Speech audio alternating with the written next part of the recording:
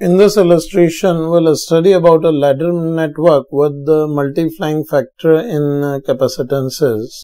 Here uh, we are given that when each capacitor of a circuit is multiplied by a constant factor, then equivalent capacitance of that circuit will also be changed by that factor.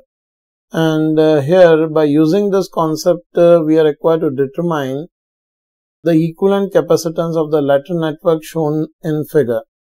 Now, in this situation, we can see as the concept is stated here, if all capacitors of a network are multiplied by a factor say 5, then the equivalent capacitance will also become 5 times. So here we can see in this ladder network, in every section, the capacitances uh, are getting doubled.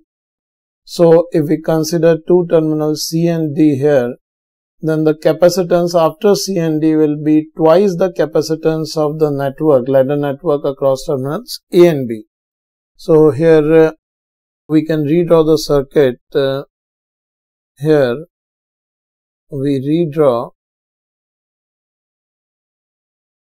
the circuit as here uh, we can draw the circuit as across A and B the first section remains same that of 1 microfarad and 2 microfarad capacitors and across C and D I can replace the whole capacitance by 2 C naught if the equivalent capacitance across A and B is C naught. Because you can see if all capacitances across A and B are doubled, then it will become the capacitance across C and D. So here uh, we can directly write this capacitance C naught is equals to this 1 microfarad in series combination with the 2 microfarad in parallel combination with 2 C naught because here 2 C naught and 2 microfarad are in parallel and this group is connected in series with 1 microfarad. On Substituting the mathematical result, this will be 1 multiplied by 2 plus 2c naught divided by 1 plus 2 plus 2c naught.